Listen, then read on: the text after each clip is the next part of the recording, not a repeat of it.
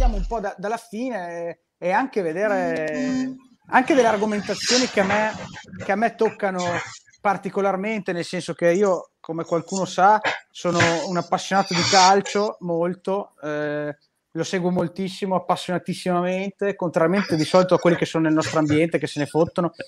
E invece per me è, una, è uno sport nazionale popolare che è molto intrigante. Seguo molto la Liga spagnola e vedo che c'è grosso come una casa, secondo me, il, pro, il problema dell'allenamento della forza. Cioè, io lo proprio lo vedo, a parte che vedo allenamenti, seguo degli allenamenti in cui continuo a vedere gente in, in bilico su delle palle con 5 kg, non scherzo, con, che solleva 5 kg, ma giocatori, ho visto Marcelo ieri, ieri l'altro, Marcelo, quello del terzino del Real Madrid, che fisicamente è potenzialmente un mostro, e lì mi rendo conto che cioè, dagli Stati Uniti sono l'opposto, in cui si, si, ammazzano di pesi fatti spesso male, come diceva Stefano l'altra volta, però hanno grande importanza al carico, anche perché hanno degli sport che sono declinati in maniera diversa.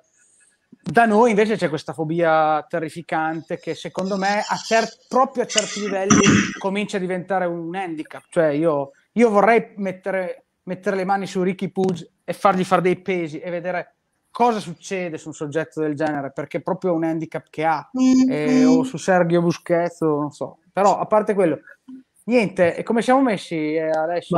Pur, guarda, purtroppo si è collegato anche i Dechi. Anche i Dechi. Di Spite i Dechi partiamo. Niente, allora, in prima di iniziare vi facciamo questo, questa piccola comunicazione. Abbiamo, se puoi Stefano mettere la sovrimpressione, se la fai, se la fai tema non è tanto la sovraimpressione. Allora, abbiamo fatto un prodottino online facile, messo con un, anche con un prezzo molto popolare, come piace a me, è veramente alla portata di tutti, cioè d'acquisto momentaneo, costa come un libro fondamentalmente. E non è un corso online per, fare, per portare Carlo Calabrese a fare 3,57 di stacco da terra, è più che altro per chi invece a 150 e vede quelli che fanno 250, dice è impossibile, invece non è impossibile. Fondamentalmente qual è la logica di questo corso? È cercare di fare un'analisi dall'esterno e dire perché nel nostro mondo una persona di 85 kg che fa 2,25 è considerato, correggetemi se sbaglio, scarso di stacco, no? È scarso, no? 85 kg 2,25. Giusto? Sì. è scarso. Sì. Mentre ti esci di un millimetro dal mondo del powerlifting e questo numero diventa quasi ob- un obiettivo nel CrossFit. Ecco, questa cosa qua rivolta a chi fa? Bodybuilding, natural bodybuilding, CrossFit, un casino ai preparatori atletici e scusate, ai personal trainer, anche i preparatori atletici e rugbisti potrebbero fare numeri esagerati, invece si trovano a tirare di schiena molto meno. Ecco, cos'è che è, è stata un'analisi a posteriori? Cos'è che fa sì che, ne, che sia così più facile per noi, anche inconsciamente a volte, non sempre. Qual è il percorso che dovremmo fare per, per rendere un'alzata che proprio non ci viene, magari per leve, per eh, attivazione neuromuscolare, per caratteristiche, che non ci viene, ci viene con dei chili che poi confrontandoci con gli altri sono bassissimi, sembrano bassissimi. Ecco, c'è un passaggio ben preciso. Prima ci sono dei prerequisiti di mobilità, di lavoro a specifico, e poi ci sono quattro punti, uno dopo l'altro, che se seguiti in questa maniera danno una, un percorso propedeutico che aiuta a capire perché chi tendenzialmente ha molto tempo da dedicare allo stacco da terra perché fa il powerlifter fondamentalmente quindi queste cose le apprende le, gli entrano dentro nel, nel, quasi nel DNA perché a loro viene così più facile. Ecco senza diventare dei powerlifter agonisti si può, si può avere accesso a questo, a questo percorso. È un prodottino molto furbo eh, lo trovo facile fatto. Tu, Alessio, l'hai, l'hai, visto anche tu quando abbiamo preparato sì. le didascalie e tutto. Eh, non so, ti sei fatto un'idea diversa da quello che sto dicendo. Cioè, è, un, no, è, un, no, è un percorso pa- passo passo molto, molto razionale e furbino. Per cui, se vi, se vi interessa, dateci un'occhiata. Eh, all'acquisto per ora con PayPal è un po' una menata c'è un po' la menata del codice fiscale che purtroppo bisogna buttarlo dentro per, per, motivi di fatturazione e ho visto questa cosa qua un po'... Cioè, è già, sta andando molto bene, siamo super, super contenti perché è già, sta già volando. Vedo che molti arrivano alla fatturazione e si rompono le palle, però stringete i denti un attimo e insomma almeno fino al 31-12 sarà questo prezzo veramente basso. Abbiamo tolto tutte le segate di tipo eh, estetico, cioè eh, la post produzione del video l'abbiamo limitata al massimo per poter fare un prezzo che fosse, che fosse accessibile e che avesse tutto quello che, che interessa a livello contenutistico. Sì, interessante per i powerlifter, ma molto più per chi da fuori vuole, vuole rubare. È un prodotto di cui sono molto molto contento. Fine di questa introduction, eh, vi, vi, vi, passo la parola e vi, vi lancio verso il mondo. Prego. Grazie Ado, ci sentiamo. Grazie mille. Ciao, ciao. Allora, se ne è andato lo spruzza, quindi adesso siamo noi i padroni di questa cosa qua. Ok. Bene. E da dove partiamo, Ale? Beh, eh, era carino fare riferimento alla live di settimana sc- de- di qualche settimana, eh, settimana scorsa. Esatto.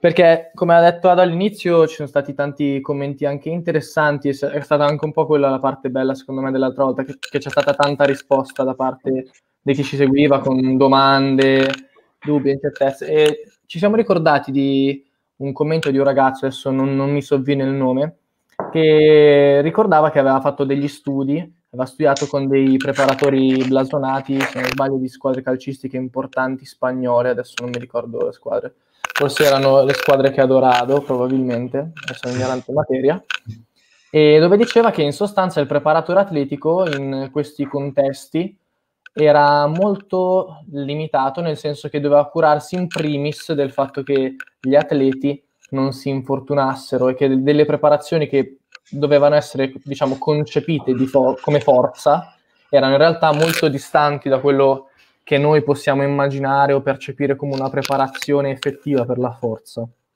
Corretto, Stefano? Esatto, assolutamente sì, perché il feedback dopo l'ultima diretta è stato molto positivo, nel senso che probabilmente era un topic che andava che andava un attimo sviscerato e ha fatto piacere a tutti probabilmente sentirne parlare. E come tutte le cose, poi c'è stata anche la parte in cui sono arrivate delle critiche o dove magari qualcuno andava a far notare do- che a livelli alti, a quanto pare, si parlava di calcio in questo determinato riferimento, ma vale un po' da tutte le parti. Eh, gli atleti sono lì perché sono già atleti, sono già forti, sono già veloci, sanno già fare tutto.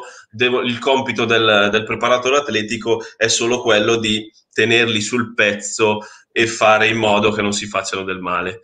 Che personalmente io, eh, se fossi quel preparatore atletico, mi sentirei un po', un po sminuito, nel senso, eh, io sono qui perché voglio fare la differenza, voglio elevare il livello degli atleti che ci sono in questa squadra, dell'atleta singolo, se si parla di disciplina singola. Ok?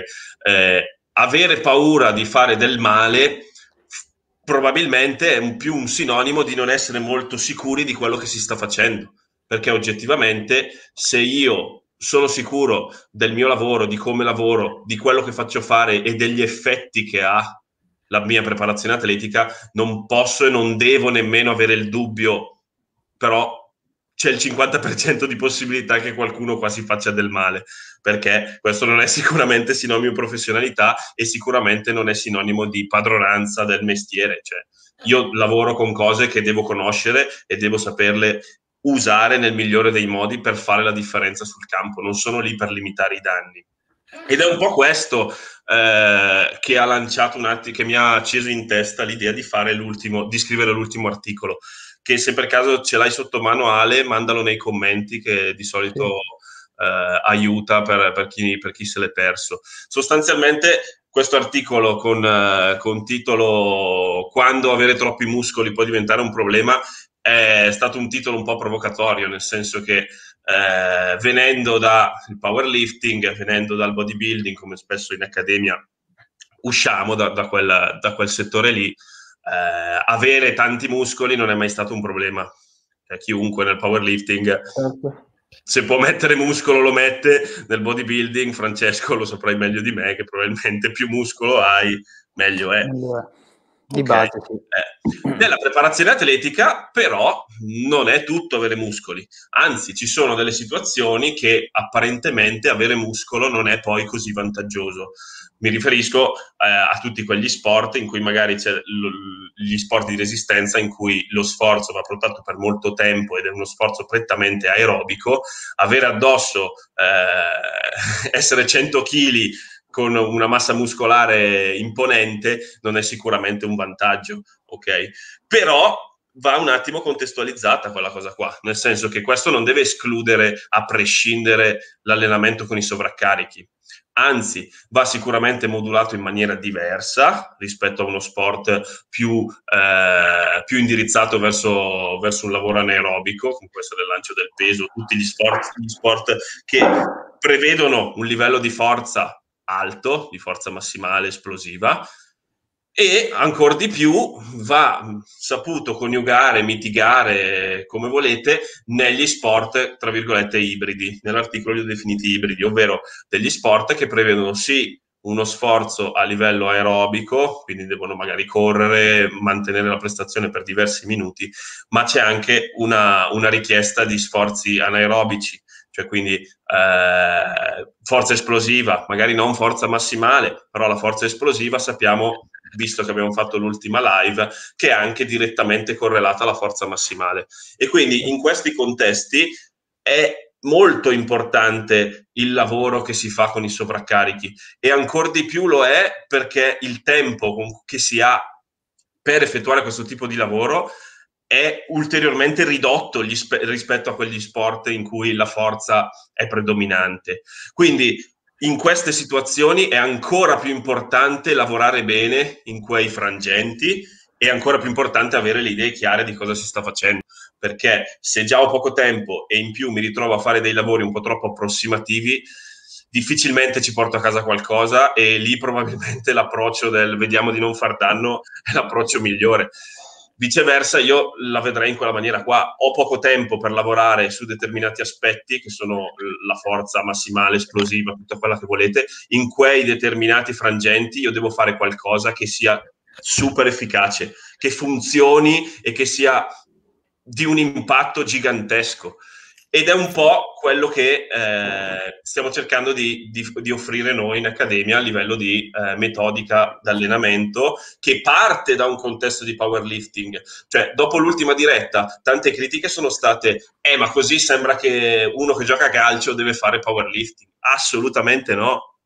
Uno che gioca a calcio non deve fare la programmazione di uno che gareggia in 83 agli Open, però deve fare stacco, deve fare squat, può fare panca, perché no? Ma l'importante è che faccia una cosa con un senso, sia a livello tecnico, cioè a livello motorio, deve fare un movimento che ha un senso, che sviluppi un determinato pattern motorio e che induca a una determinata crescita muscolare correlata a un, uh, a un transfer motorio, perché se io faccio squat bene, nel vero senso della parola, cioè se coinvolgo i muscoli giusti alla profondità giusta, con il timing giusto, il miglioramento ce l'ho anche quando sono sul campo.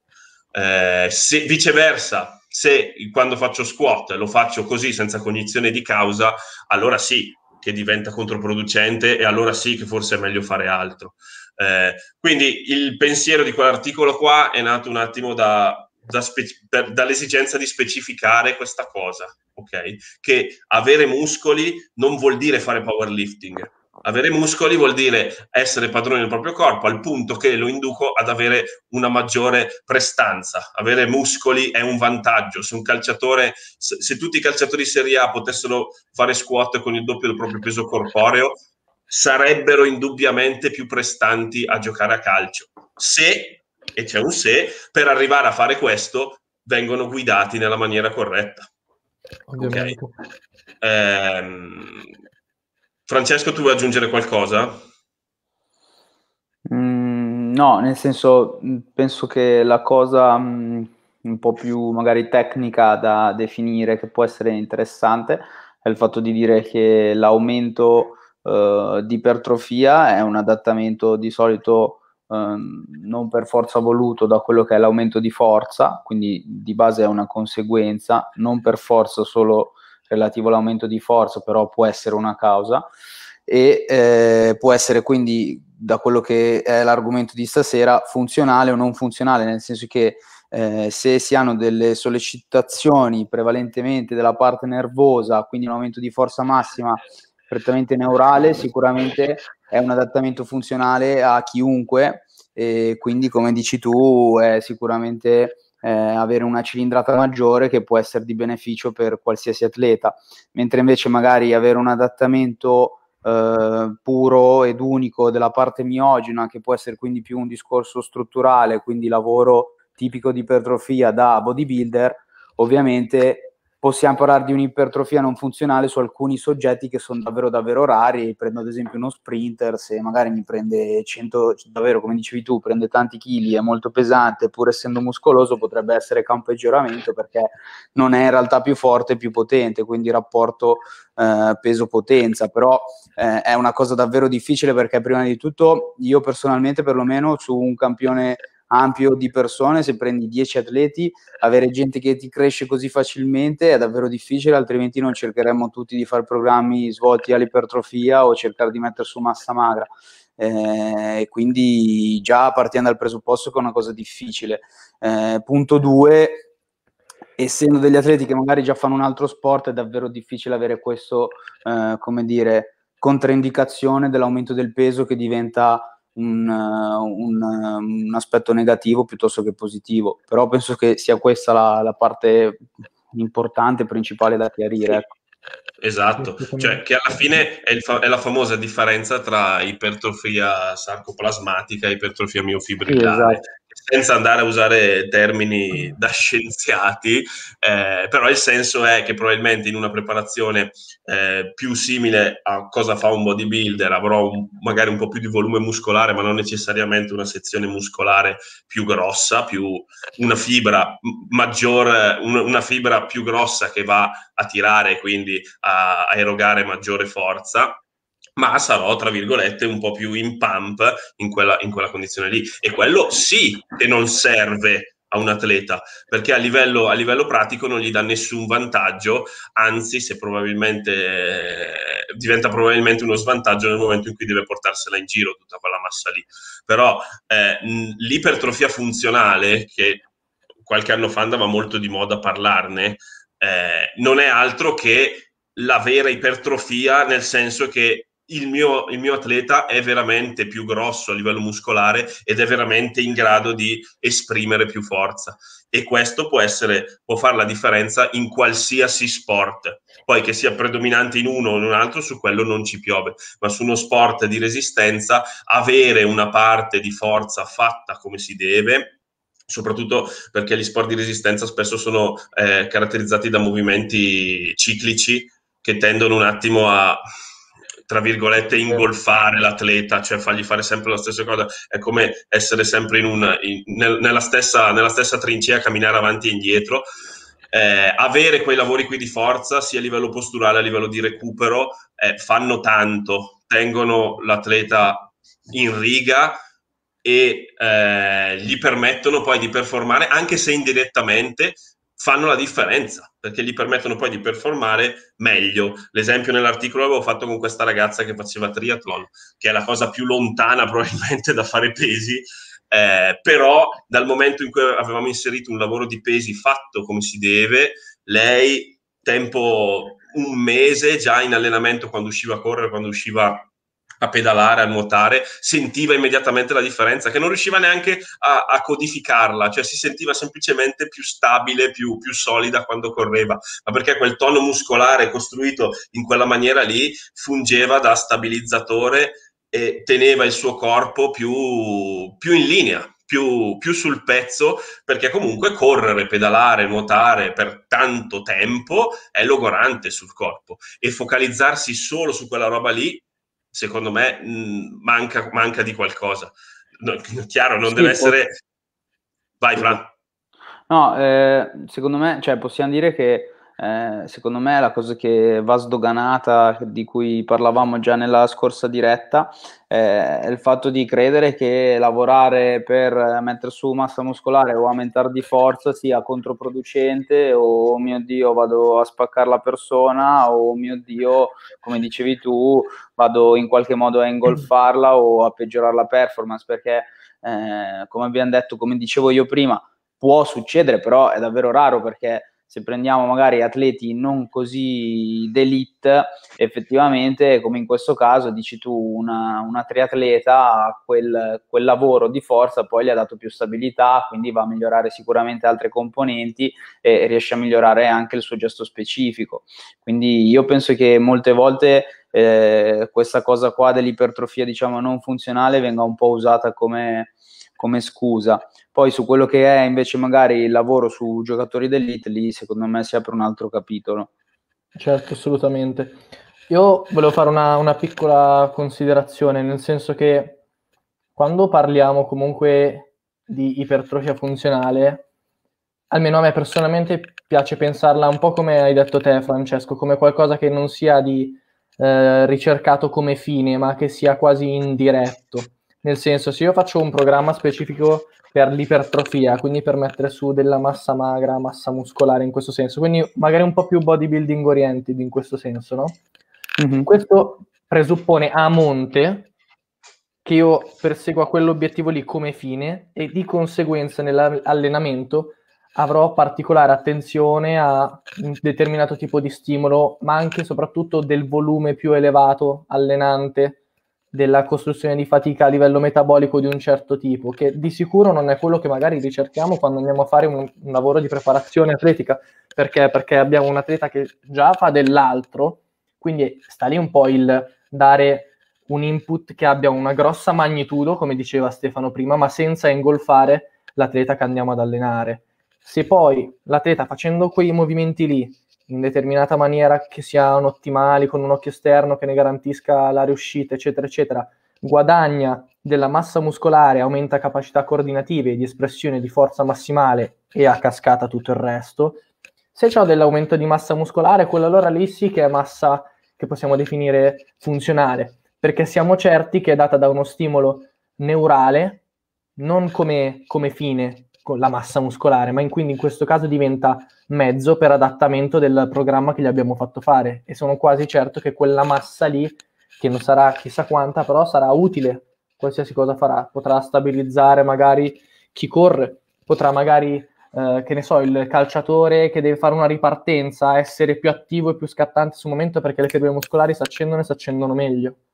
Quella... Sì, io se posso aggiungere una cosa visto che mi ritrovo spesso in questo argomento, onestamente, perché molte volte lavoro magari con, a livello di consulenza con privati e sì. mi si rivolgono persone che sanno comunque del mio diciamo know-how a livello di performance, però vogliono migliorare a livello estetico, quindi magari vogliono migliorare sotto il punto di vista dell'ipertrofia. La cosa che dico io sempre è che comunque ehm, quando noi alleniamo la forza parliamo di un'abilità nel senso quello che fate voi a livello di powerlifting è il fatto di allenare un gesto e ricercare la sua massima efficienza, quindi uno squat ben fatto cerco di migliorare la mia abilità in quel gesto, in quella cosciata. Ehm, mentre invece quello che poi si va a ricercare, come dicevi tu e come ho detto io prima, eh, a livello di ipertrofia, eh, l'ipertrofia è un adattamento, cioè non è un'abilità che vai a sviluppare, è un adattamento, è una conseguenza a diversi aspetti. Eh, quindi bisogna ben capire quale sia l'obiettivo, perché se noi partiamo dal presupposto che abbiamo bisogno di questa abilità e di questa efficienza, e quindi sicuramente siamo in ambito preparazione atletica barra powerlifting o barra qualcuno che ha interessi in quell'ottica, eh, sicuramente la, lavoriamo in quella maniera lì e non, non prescinderemo dal fatto di lavorare con sovraccarico, con eh, metodiche svolte a un progressive overload e una maggiore efficienza nel periodo di tempo. Mentre invece se magari andiamo a ricercare quello che è il mero adattamento, quindi il discorso ipertrofico, per come la vedo io, entrano, in, come dire, entrano eh, nel pentolone altre componenti, perché magari se uno vuole fare il bodybuilder, eh, bodybuilder d'elite, non è detto che debba fare per forza panca, stacco e squat, perché comunque gli adattamenti a livello ipertrofico sono tanti, quindi si possono comunque percorrere diverse strade per arrivare a Roma, diciamo. Sì, sì, sì, sì, indubbiamente. Una cosa da sottolineare a livello di preparazione è che se noi qui facciamo troppo poco, in America magari fanno anche troppo tanto, più che troppo tanto, un po' troppo approssimativo. E mi è venuto mentre parlavi tu, Ale, l'esempio di, per esempio, LeBron James, um, più o meno a metà carriera, quando era a Miami, ha avuto un calo drastico di peso da una sì. stagione all'altra. Eh, e io l'ho sempre interpretata in quella maniera qua. Lui era diventato meno efficiente sul campo Probabilmente sì, perché se poi sono calati di sicuro non sono coglioni dall'altra parte. Eh, però perché era arrivato a un, a un, calo di prestazione con addosso dei muscoli? Allora, penso che chiunque ci stia guardando abbia una vaga idea di, di chi sia LeBron James, però comunque è un soggetto che... che giocava al eh, parchetto. Esatto, muscolarmente molto dotato, quindi probabilmente uno che tende a mettere molta massa muscolare già dai primi anni del, del, liceo, cioè sembrava avesse 25 anni quando ne aveva 15 sostanzialmente, e quindi poi con la l'approdo in NBA probabilmente tutto il mondo che c'è stato intorno a livello di, di conditioning e quant'altro non ha fatto altro che far esplodere il suo corpo, eh, facendolo arrivare a un punto in cui probabilmente si sono messi lì a un tavolo e mi hanno detto ascolta tu quando così pesante sei meno prestante di 5 kg in meno, 7 kg in meno. Era, era, calato tanto, io mi ricordo da una stagione sì. all'altra che È l'avevo visto. Che faccio sempre anch'io, davvero, eh, esatto. Però lì, secondo me, la chiave di lettura è come sono stati costruiti quei muscoli. Nel senso, sono stati fatti con un programma, eh, con un filologico, con un'esecuzione come si deve, o semplicemente gli abbiamo buttato addosso dei pesi e lui per la sua natura genetica, boom, ha messo su ste spalle e poi effettivamente quando doveva fare avanti e indietro sui, sui 40 metri era, era, in difficoltà, che è quello che probabilmente, senza peccare di presunzione, manca un po' agli americani. Fanno tanto tanto lì sono tante persone, quindi sul pool eh, c'è gente magari anche più portata, eh, andando se, senza per forza andare su afroamericani, bianchi e quant'altro, però comunque quando hai così tanta gente che fa pesi già da quando sono ragazzini, perché comunque al liceo comincia, è il più scarsone di tutti al liceo fa pesi, qua eh, se, prendi, se prendi un giocatore di pallacanestro nato e cresciuto in Italia è già un miracolo che faccia pesi a 18 anni perché prima hanno paura che imploda. Eh, come è stata contestualizzata quella cosa lì? Perché io sono convinto al 100% che se LeBron James avesse fatto un percorso sotto i, sotto i pesi ponderato, con dei movimenti sensati, con eh, una struttura d'allenamento per arrivare a farlo diventare effettivamente più grosso, ma perché i suoi muscoli erano effettivamente più grossi e tiravano, spingevano di più, secondo me non ci sarebbe stata necessità di, di, scendere di peso, perché lì è stato un passo indietro su una, una mancanza di, di, di, preparazione, perché non è che si è messo muscolo, sono stato bravo, perché lì è stato un passo indietro da quel punto di vista lì, perché si sono accorti che non era la strada da fare. Chiaro, su LeBron James è una cosa estremizzata, perché comunque prendi un soggetto che eh, mette muscolo solo a, ad alzarsi dalla sedia probabilmente. Però in, secondo me è applicabile in chiave globale, perché comunque anche un soggetto non dotato non ha bisogno di bodybuilding, ha bisogno di, eh, una, di uno strength training eh, sensato, con dei movimenti, con un filo logico e una programmazione che lo porti a essere più forte e di conseguenza più grosso. Esatto. Poi c'è anche da dire un attimo la controparte, nel senso che cioè, non è che tutti sono LeBron James, nel senso quindi, Anzi. a maggior ragione, molto probabilmente si dovrebbe curare di più questo lato qua. Cioè, se Lebron gli hanno buttato su carne perché la prendeva e ha sempre fatto quello che gli è stato detto e l'ha presa ed è arrivato a un punto che è dovuto scendere, secondo me molto probabilmente dalla nostra parte stiamo facendo molto poco per avvicinarci a quel livello di LeBron James per cui poi è dovuto scendere. Quindi non è che si corra poi così tanto il rischio. Non di fare, perché noi dobbiamo mettere sempre in ottica di doverlo farlo in, quel, in quella maniera che abbiamo detto, perché è quello che poi non ti fa sbagliare. Però è uno, è uno spunto in più per cercare di ragionare, vederlo un attimino come per dire, non è che forse qui, come tornando all'inizio, devo limitare solamente l'infortunio, anzi, perché ad esempio prima io e Stefano parlavamo, ci sono anche eh, certi magari sempre prendendo il calcio, certi giocatori che ad oggi magari curano un po' di più l- l'aspetto anche fisico, anche banalmente per dei commercial o robe del genere. Prendiamo Cristiano Ronaldo, che è quello che per eccellenza si sa che si allena sempre, super dedicato, così, però Cristiano Ronaldo non sappiamo effettivamente quanto scuotti o che programma faccia, molto probabilmente magari non segue neanche un tipo di logica simile se la seguisse sul campo come cambierebbe? Sarebbe da vedere. Boh, io qua sapete non, non faccio troppo la controparte, se no poi Ado si arrabbia. no, no, no, invece, invece la devi fare. La devi fare. No, vabbè, dico, cioè, gente come Cristiano Ronaldo, secondo me solo il fatto di pensare di dovergli cambiare qualcosa è errato, perché se prendete Cristiano Ronaldo è errato. Se poi ci riferiamo ad altri, concordo, come magari parlavamo eh, altre volte, effettivamente può essere, però io ci tengo a farla capire questa cosa, perché sennò sembra sempre troppo tutto banale. Eh, ad alto livello, so che sembra sempre la scusa, però è davvero davvero difficile perché o inizi a lavorare con quelle determinate metodiche dal settore giovanile, quindi tiri su una persona così, oppure se ti trovi un giocatore fatto e finito, ti arriva Cristiano Ronaldo, cioè voi avreste le palle se vi arriva Cristiano Ronaldo di dirgli oh aspetta, tutto quello che hai fatto fino adesso, non far più niente, iniziamo a fare spot stacco. Io non ce le avrei le palle.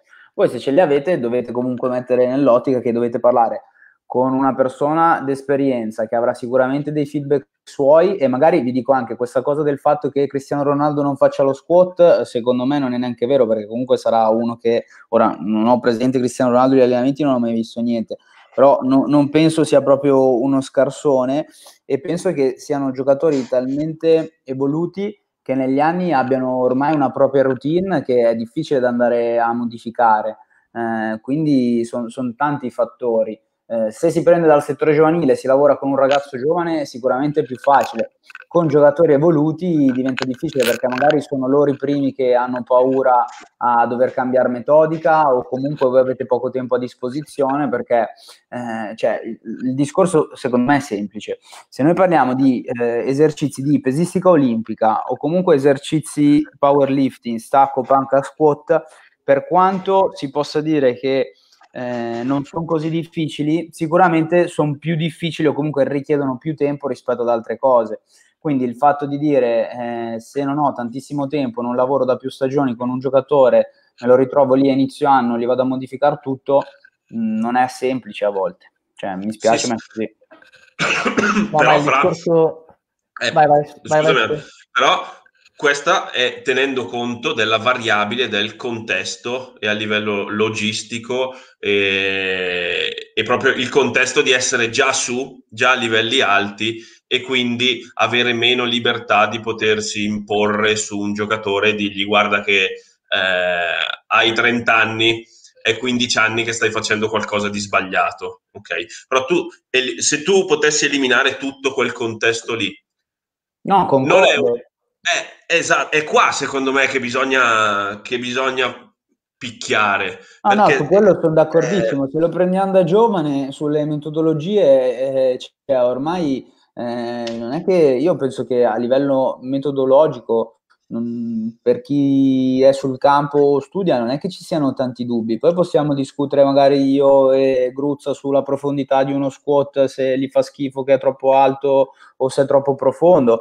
però parliamo comunque di uno squat, parliamo di gente che, che sposta dei carichi interessanti, parliamo di cose simili.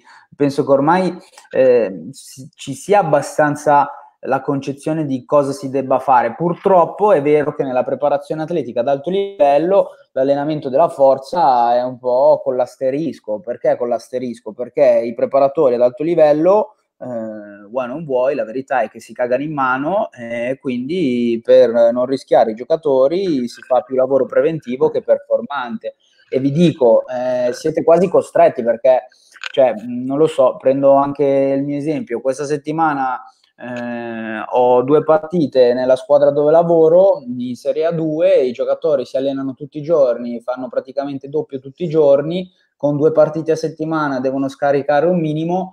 Eh, io non, non, posso fare più di una sessione di pesi nella settimana se ho do, due partite settimanali e se ho una singola sessione di pesi eh, permettetemi che a meno che abbia una persona davvero evoluta dal punto di vista di resistance training e gestione dei carichi, cosa che non accade perché questi qua comunque sono giocatori di pallacanestro e non sollevatori di pesi, ehm, non posso permettermi di andare ad affaticarli così tanto dal punto di vista neurale, perché comunque anche che li mettessi a fare delle triple al, non lo so, al 70%, 75%, il giocatore comunque, siccome non è abituato, perché partiamo sempre da quel presupposto, lo percepisce pesante. Ovvio, ho un giocatore che è abituato, eh, gestisce bene i carichi, si muove bene, posso anche permettermi in quella singola seduta di fare qualcosina di più. E io lo faccio, io sono una mosca bianca, infatti, tra quelli eh, che ci sono nell'ambito della preparazione atletica. Però vi dico, pur essendo una mosca bianca, capisco anche altre persone perché eh, ti ritrovi al Milan, hai eh, due partite a settimana, c'hai Zlatan Ibrahimovic che ha tanto di esperienza, ha tanti anni, eh, preferisci rompergli il cazzo e mettergli a fare lo squat pesante che non lo fa magari da 15 anni o lo tieni in forma e rischi, cioè, sei sicuro di non andargli a causare problemi? Eh, io ero uno di quelli che diceva no, chi se ne frega deve performare, poi vi assicuro che però eh, se ci sono sfighe siete sfigati perché cioè, appena c'è qualcosina ce l'hanno col preparatore, il preparatore e poi il primo che viene tagliato. Sì, certo, il discorso era da, era da è da, secondo me, contestualizzare anche ritornando a quello che abbiamo detto prima su Lebron e su, ad esempio, Ronaldo, così in un contesto eh, più idealizzato nel quale già dalle giovanili, come abbiamo detto, c'è una crescita che ti porta a fare questo.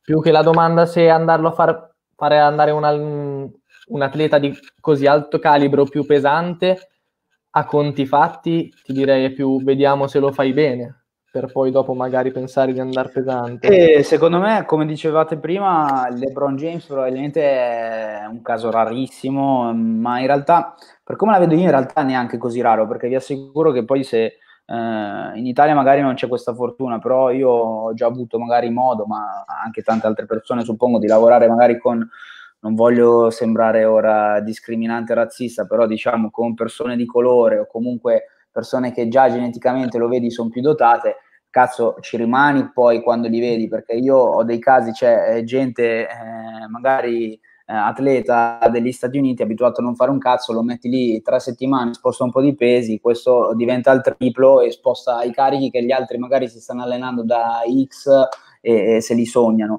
Infatti io sono uno dei primi sempre a puntare sul, sulla cosa della genetica, per quanto in Italia eh, ormai tutti la sfottano, che dicono no, non, non conta un cazzo, ti devi solo fare Oddio. il culo.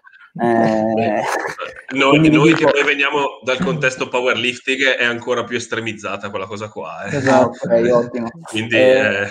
siete in linea, quindi. Eh, diciamo sì, che, cioè, per come la vedo io, LeBron James comunque ci nasci, poi si, ti fai un culo della Madonna, però ci nasci. E in quei casi lì, io lo assicuro, cioè, ci gioco quello che volete, mi è capitato, ne ho visti, c'è gente che pur allenandosi di merda, pur facendo le cose a caso praticamente, hanno dei guadagni che gente che magari sono io, mi faccio le pippe mentali da X anni, faccio tutto preciso, non ci arrivo, ma non ci arrivo semplicemente perché non sono portato a fare quella cosa lì.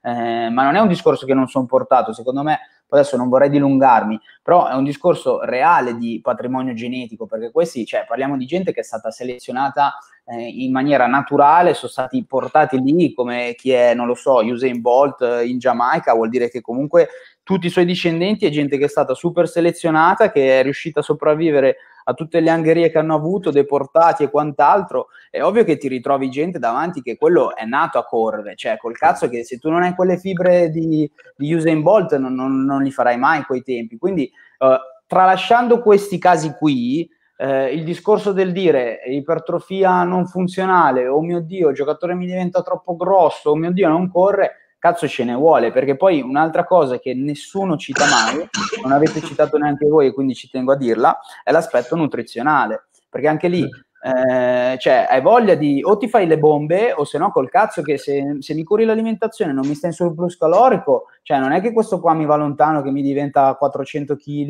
e diventa grossissimo. Quindi eh, certo. partiamo dal presupposto che ad alto livello gli atleti in teoria dovrebbero essere seguiti anche a livello nutrizionale. Se siamo già a un livello un po' più bassino, eh, se comunque a livello nutrizionale dosiamo bene il tutto, questa cosa secondo me può essere fatta molto meglio di quello che si pensa sul discorso dell'ipertrofia, mi riferisco, funzionale e non funzionale. Tutto qua. Ah, ok, scusa, pensavo fosse una pausa di respiro. No, no, eh, cioè, stavo pensando a finire altro, però secondo me è, no, un, è, è un tema è, talmente ampio che o decidiamo magari su cosa focalizzarci o se ci sono delle domande specifiche secondo me su qualcosa, altrimenti è davvero grosso perché eh, il discorso del funzionale e non funzionale, per come la vedo io, esiste, c'è il discorso in letteratura scientifica, come dicevi tu, ora senza far troppo lo scienziato, però il discorso di ipertrofia eh, sarcoplasmatica miofibrillare, quindi sarcomeri in parallelo o in serie, cosa vuol dire per chi eh, magari dice che cazzo mi sta dicendo, ehm, un adattamento a livello cellulare differente, quindi il bodybuilder solleva, so, delle, la panca piana, la fa con un'eccentrica lunghissima, ricerca una massima contrazione del pettorale, ha un TUT, quindi time under tension prolungato sotto quel gruppo muscolare, su quel gruppo muscolare, perché comunque ricerca diverse cose, cioè ricerca comunque tensione meccanica, quindi ricerca il carico, ma non è l'unica cosa, ricerca anche il danno muscolare, ricerca anche lo stress metabolico, perché sono cose che gli servono per l'ipertrofia. Mentre invece il powerlifter in realtà dovrebbe sbattersi nel cazzo del danno muscolare, dello stress metabolico, così come eh, il mio atleta di calcio, eh, visto che parliamo di calcio, o pallacanestro, quello che volete, perché eh, se gli faccio fare degli esercizi con tutti prolungati, danno muscolare, stress metabolico, lì sì che sto lavorando male. Quindi parliamo di metodologia di come andiamo ad utilina- a utilizzare i nostri mezzi allenanti. Quindi torniamo sul discorso che faceva Stefano, che bisogna vedere come cacchio gliele fai fare, sti squat, stacchi, panca o complementari perché secondo me il discorso è tutto qua. Una volta che abbiamo chiarito questi due punti che ho detto, tre punti, secondo me siamo tutti in linea e si tratta solo di capire caso specifico, obiettivo e quale metodologia utilizzare. Però su questi punti penso che si possa discutere poco. Sì, no, sì, secondo me il fulcro della questione è il, lo, il singolo movimento, nel senso tutto diventa estremamente complicato quando il movimento non c'è o c'è in una maniera troppo approssimativa che ha delle conseguenze indesiderate. Quindi, secondo me, il messaggio che può essere quello, quello della serata, perché no, è che bisogna riuscire a dare eh, non una... non bisogna standardizzare il movimento e poi la, la programmazione, se si parla di squadre o quant'altro. In realtà bisogna riuscire a dare il movimento efficace a tutti, che secondo me è questa la parte difficile di quando uno prende in mano una squadra e dice ok, devo far far squata a 15 persone eh, che sono alte due metri, adesso che cazzo mi invento? Eh, non è che cazzo mi invento, tu devi sapere come far fare squat a tutte quelle 15 persone e una volta che quelle 15 persone sanno fare squat, che io per mia esperienza non ci metto troppo a farlo, perché nel senso puoi avere le leve di merda quanto vuoi, però per far squat se non hai delle, delle patologie particolari a livello de, della schiena o che cosa, o comunque se sei a livello alto si presuppone che un atleta sei e se, e se non sei in grado di far squat allora c'è un problema di fondo. Eh, una non volta è così che... scontato, eh, scusa, visto che... Eh, lo so, lo so che non è così scontato, scontato però lì però lì no, non devi sentirti in difetto tu come, come, preparatore, ma devi fargli sentire il difetto a lui. No, no, perché... io non mi sono mai sentito in difetto, però vi eh. assicuro eh. che non è così scontato perché se prendiamo ad esempio i giocatori di pallacanestro parliamo di persone fuori media, cioè parliamo di persone che sono state selezionate per quell'essere fuori media. Cosa intendo? Persone di 2,15 metri, vi assicuro che se questi da piccolini non hanno fatto lavoro di mobilità, ve li ritrovate a 20 anni che fanno cagare, cioè non sanno fare una cosciata, ma sono impossibilitati ed è davvero difficile portarli a fare una cosciata completa fatta bene. Non è una scusa, eh? io non sto dicendo che ora faccio lo no, no, fa la mancherebbe. Però vi dico, ci sono molte persone che proprio perché sono forti in quello che fanno hanno tutta un, una conseguenza di compensi. Cioè, no, no, no, ci mancherebbe. Però io che alleno a livello molto più basso del tuo, spesso mi ritrovo con sì, quello di due metri, eh, a 40 anni, cioè quindi fine carriera, sceso dalla Serie C, eh, si è rotto i coglioni, non eh, c'è voglia non di... Facile, non è facile. Eh, ma io, io, ti dico che io in quel, in quel, contesto lì, io lo porto a fare squat e lui si meraviglia e mi dice, cazzo, ma eh, non pensavo fosse così così facile, perché alla fine se tu gli dai i riferimenti giusti, a meno che una non sia proprio un, un, un troglodita motorio, cioè io no, nelle no. esperienze con due sedute ho... settimanali, secondo me nel giro ora non, non, mi ricordo quanto hai detto di settimane, se lavori già così, non lo so, 12 settimane, ci dovresti arrivare a fargli fare uno squat fatto bene, completo, bello e con dei carichi decenti, sono d'accordissimo. Hai detto alle una sessione? No. Ma sì, nel senso, eh, poi io ho lavorato tanto in palestra con l'audience, con il, il materiale più scrauso, perché comunque lavori in una palestra commerciale, ti arriva lì lo schifo dello schifo, ok? A livello motorio intendo, non a livello di persone, per carità ci mancherebbe. Sì, sì. Eh, però se tu con quel, con quel, con quel materiale impari a far fare squat, a far fare stacco e davvero in due sedute, come dice Ale, si riesce, si riesce. Una volta che uno è abituato a farlo, si riesce. Cazzo, quando, tipo, quando prendi in mano un atleta eh, formato, che dici, cazzo, questo qui vi, vive del suo corpo, vive facendo l'atleta, dovrebbe essere ancora più facile. Non lo è nel momento in cui questo si sente arrivato e quindi cioè, non ha voglia di mettere in discussione quello che ha fatto e quello che fa. E immagino tu mi possa confermare, è un atteggiamento che magari un americano che viene a giocare in Europa ha, nel senso loro sì, là... Sì, no, vabbè, poi loro li fanno, quindi non è il problema dell'americano, però eh, ci sono tanti giocatori che magari sono già, come dici tu, atteggiamento da arrivato. Cioè, è lì, è lì il problema, secondo me. Eh, sì, a, discorso, a livello logistico, perché comunque poi la società deve credere in quello che fai al punto e deve crederci parecchio se tu vuoi mettere in dubbio e ribaltare tutta la situazione. Bravo. Eh, quello, su, quello, eh, su, quello, non ci piove. Però eh, sarebbe figo arrivarci un giorno, trovare un modo per partire da una giovanile, più giovanili, e far vedere che questa cosa funziona. È che ah, così, è una... così super sarebbe eh... davvero super e ti do ragione in pieno. Dico, ehm, io concordo, vi, vi, faccio un esempio solo per far capire un po' ancora il mio punto di vista sul fatto del difendere un po' la categoria, del dire non è semplice.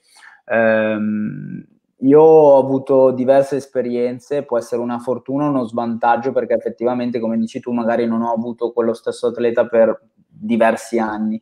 Um, inizialmente vi assicuro che comunque se uno eh, non ha magari tutta quella confidenza con i giocatori, è il primo anno o comunque non sei sicuro di rimanere più tempo con quella persona, è difficile perché appunto se arrivi in corso d'opera o comunque inizio stagione ti ritrovi di base gente che d'estate ha fatto poco o comunque eh, anche se sono atleti professionisti eh, devi comunque fare una sorta di anatomical adaptation, comunque riportarli tutti a uno stesso livello.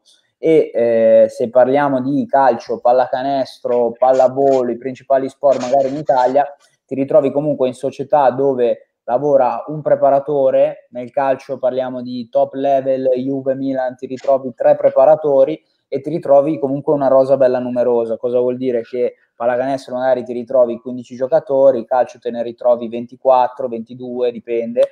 Eh, e quindi eh, comunque tu conta che arrivi ambiente nuovo, uomini nuovi, perché prima dell'atleta c'è l'uomo, tu devi entrare in empatia con l'uomo, perché come dicevamo prima, magari ti arriva l'americano eh, più grande di te, o non lo so, tu per lui non conti un cazzo, quindi eh, non, non, ti vuole neanche ascoltare, eh, devi entrare in empatia con quello che è lo staff eh, tecnico, perché comunque, come dicevamo nella prima, nella prima diretta, se l'allenatore decide che gli squat fanno cagare, gli squat fanno cagare, punto e fine. ehm, e non puoi farci molto perché o mandano via l'allenatore o mandano via te. E, e i primi allenamenti comunque io che inizio ad avere magari le mie due sessioni di pesi a settimana ho davanti 15 atleti che devo gestire praticamente tutti insieme. Poi io sono bravo, ci spendo del tempo extra, inizio a far venire qualcuno eh, in altri momenti della giornata, sessioni singole, inizia a impostargli lo squat. Se abbiamo comunque questo contesto, e vi assicuro che questo contesto più vai ad alto livello, più è complicato perché potrei tirarvi fuori 8000 robe, eh? c'è da il direttore sportivo che arriva a chiederti cosa fai, eh, il giocatore che ti dice ma col preparatore vecchio facevo così, il giocatore che no, guarda io il bilanciere sulla schiena no perché mi fa male, quindi arrivi e ti ritrovi tutte queste variabili. Cazzo, io vi assicuro, e io ci batto, eh, sono adesso faccio tanto non mi guarderà nessuno di dove lavoro settembre, ottobre, novembre, siamo a dicembre io in quattro mesi adesso posso dire che tutti i miei giocatori tutti dal primo all'ultimo fanno lo squat.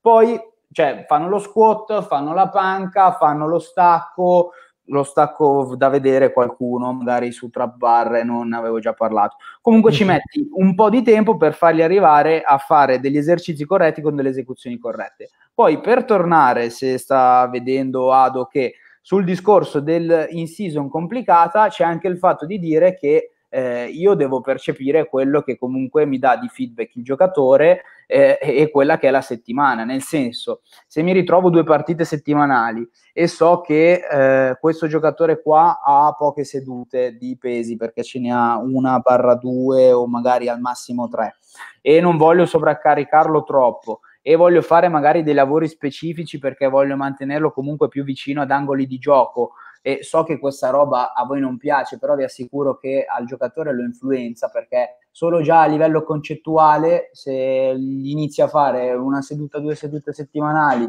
dove li metti dentro degli altri lavori, magari su, non lo so, salto, perché anche lì iniziamo a parlare di problemi a livello metodologico, ovvero transfer di forza, cosa faccio? Due esercizi simili, perché lì c'è una confusione allucinante, e quello secondo me è un altro problema, principalmente nel calcio, eh? perché lì ti dicono, eh no, li faccio fare, eh, l, non lo so, Mm, lo squat sulla Bosu perché crea instabilità e poi mi fa dei drop jump perché così sto allenando il salto su superficie instabile sul terreno e quindi lo squat pesante non glielo faccio perché non scende così tanto. E lì c'è un problema concettuale eh, ce ne sono tanti. Io questo lo metto da parte perché non sono uno di quelli che dice no che cazzo mi serve però vi dico eh, star vicino agli angoli di lavoro eh, non dico sempre, però ogni tanto, specialmente nelle settimane pesanti, eh, è utile perché il giocatore lo percepisce meno tassante e comunque riesce a, ad essere più efficiente su poi quello che è il gesto specifico. Quindi eh, io discutevo con Ado perché ho messo lo squat di un ragazzo che era non so come definirlo, boh, un quarto di squat pesante, io quella seduta, l'unica che mi faceva comunque su transfer di salto, preferisco che mi faccia uno squat pesante perché lo sveglio un po' a livello neurale piuttosto che metterlo lì a fare uno squat completo, bello, magari come piace più a voi, con meno peso, un po' più lento. Perché secondo me c'è il discorso sempre del ehm, della velocità che viene considerata meno, eh, perché eh, io qua secondo me possiamo discuterne un pochino, magari non sarete concordi da subito, però eh, io mi alleno da, da diversi anni e secondo me gestire anche questi classici, chiamiamoli big 3, eh, in maniera appropriata, riuscendo a modulare bene le velocità di esecuzione, secondo me non è una roba così banale, cioè nel senso eh, ci sono tanti fattori che, che, che sono concomitanti a quello. Ovvero io posso sapere che ho un 210 di squat che a voi fa ridere, massimale, però ci sono dei giorni che mi sveglio e magari 160 kg li muovo velocissimi, dei giorni che eh, sto morendo e faccio fatica. E, e per il giocatore è così, quindi è, quasi un doverlo percepire, è quasi un assessment giorno per giorno, diventa più difficile avere una programmazione stile PL 12 settimane, questo giorno fai questa percentuale, questo giorno fai questa percentuale, questo giorno ne fai un'altra. Perché? Perché ci sono mille variabili, magari mi ha fatto la partita due giorni prima, ha preso una botta sul culo e quel giorno lì manco vuol fare lo squat e ti manda a puttane tutto il certo. programma. Certo. È, è, ovvio che se, se, lavoro con un ragazzino o sono a un livello un po' più basso, gli, gli do un calcio in culo anche a, allo juniores, agli under, eh, lo fai, non rompe le balle. Se ti ritrovi davanti uno che è più simile a un Cristiano Ronaldo, ora nomino Cristiano Ronaldo, ma non nomino neanche gente di Serie A2, però qualcuno che è molto impegnato sul suo sport, cacchio, ci vai più attento perché vuol dire che stai andando comunque molto contro a quello che è abituato. E sono d'accordo che in realtà è giusto andare in quell'ottica, però è giusto, come dicevamo prima, andare da quando sei piccolo, perché prendere un giocatore voluto e magari metterlo lì a fare solo squat, panca stacco, fatti perfetti eh, per 12 settimane in progressione su quella singola oretta che ho, dove magari non riesco neanche a guardarlo benissimo solo a lui perché ho altri in sala pesi, eh, cazzo, io preferisco sapere che magari questo è forte, mi sta facendo un quarto di squat perché poi c'è altri due esercizi che sono specifici su quello che è il salto, mi mantiene un primo esercizio bello pesante, si attiva a livello neurale e sono felice così. Eh, questa è, è, un mio... Guarda, fra, in realtà, che tu ci creda o no, mi trovi molto in accordo su questo tuo approccio, in realtà, personalmente. Cioè, nel senso, ti hai introdotto un po' di variabili per quanto riguarda la metodologia della programmazione di un allenamento che sono contestualizzabili sempre in base allo sport che l'atleta va a fare, nel senso specificità, eh, adattabilità, eh, distribuzione dei carichi settimanali, eh, metodologia in seduta nel macrociclo, cioè sono cose che giustamente hai introdotto e secondo me è corretto, nel senso, secondo quello che penso io è che tu in quella seduta lì hai voluto fargli fare il quarto di squat Adesso non so se era un quarto di squat normale, magari io l'avrei fatto ad esempio sui pin, per farti capire, per dargli quell'attivazione che poi dopo sul salto gli avrebbe dato quella percezione di, di, facilità sì, e di esplosività. Diciamo. Esatto. E ci sta, considerato il fatto che comunque poi dopo vai a fare un movimento più specifico e utilizzi lo squat in una variante per creare dell'attivazione neurale, giusto corretto? Giustissimo. Ok. Quello che volevo dire che alla fine quella roba lì ci sta tutta. Molto probabilmente però la costruzione di un movimento che magari a volte è più complesso, penso che sia una roba che magari pensi di fare di più in off season in questo caso e poi, sì, portar- sì. E poi portartela dietro in season con i dovuti accorgimenti in questo caso. ma infatti ti, eh, io dicevo um, io adesso sono costretto a far così perché perché sono qua da tre mesi, io non ci ho mai lavorato con questo ragazzo in off season, io non ho mai avuto il tempo di fare una programmazione su 12 settimane fatta bene a livello di pattern motorio su quello che è lo squat. Quando riesco a fargli fare, e quello, vabbè, uno dei giocatori più forti che ho, mi fa due sedute a settimana sempre, sulla seduta 2 che tengo magari più leggera perché fa più parte alta che parte bassa, ha comunque di parte bassa uno squat fatto bene con molto meno peso ed è uno squat eh, diciamo ad hoc canonico. per voi canonico. Eh, sì. Però onestamente su, su quello che mi dà nell'immediato lo vedo meno proficuo, nel senso che eh, io il fatto di essere sicuro che mi stia facendo un gesto fatto bene a livello di efficienza, eh, in quel caso quello squat lo vedo quasi più un mantenimento di forza ed un lavoro preventivo piuttosto che l'altro lavoro che mi fa, che è un lavoro più a contrasto, dove invece per quella che è la mia idea, paradossalmente lo vado a performare o comunque a stressare di più su quell'altro tipo di lavoro. Non so se mi sono spiegato, perché comunque parliamo sempre del discorso che facevo nella prima. Mm, tu lo dici sempre per un discorso di, di, di, sia di specificità che in termini di ritorno. Di, perché, perché, io lavoro sulla potenza, cioè è quello che dicevo l'altra volta. Noi parliamo, se parliamo di potenza, si parla lavoro fratto tempo e forza per spostamento, quindi forza per velocità vuol dire che comunque c'è la componente della velocità, cazzo.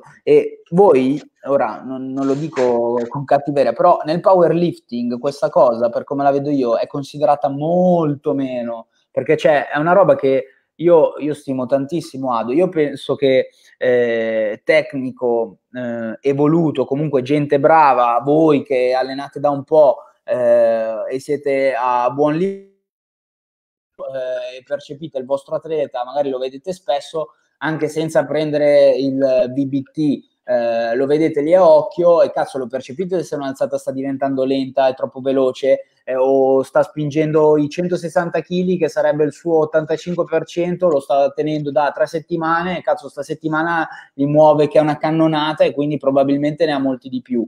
Eh, quella secondo me è bravura, cioè è il fatto che voi avete sviluppato ehm, concezione e comunque abilità a livello di occhio che va a fare la differenza, però una cosa che poi deve essere tenuta a conto soprattutto nella preparazione atletica perché quando lavoriamo sul gesto di potenza, che è quello che poi serve sul campo, c'è la componente di velocità. Quindi io sono d'accordo che bisogna fare eh, lo squat fatto bene, tutti gli esercizi fatti bene per andare a migliorare i livelli di forza e bla bla bla bla bla. Però proprio perché parliamo di giocatori evoluti, di base, eh, cioè quel ragazzo lì se lo metto a fare lo squat fatto bene, lo fa lo squat fatto bene. Si tratta solo di ehm, possiamo definirlo mh, abitudine alla biomeccanica del movimento, perché quel ragazzo lì non ha alcun problema, cioè non ha problemi di mobilità eh, o quello che vuoi, cioè gli, gli chiedi qualsiasi roba, lui te la fa. In quel momento, però, per tutto il contesto esterno, per allenarlo a livello di potenza in maniera più ottimale, io preferisco fargli fare un gesto più esplosivo dove della cosciata se mi scende due centimetri più giù, più su, meno, non me ne fotto un cazzo. Ok, e qui la mia domanda è questa. Siamo sicuri che eh, maggior velocità, quindi tra virgolette maggior transfer, cioè nell'erogazione della forza, quando poi salto e quando faccio quello che devo fare nel mio sport, sia eh, correlata direttamente a quello che faccio invece per potenziarmi? Nel senso, eh, il tuo discorso è stato eh, lavorano con angoli più simili a, a, al salto, cioè il quarto di squat è molto più simile a quando saltano per andare a rimbalzo sì. e la forza che viene, la velocità con cui la forza viene erogata è molto più simile a quando poi saltano. Sì. Ok?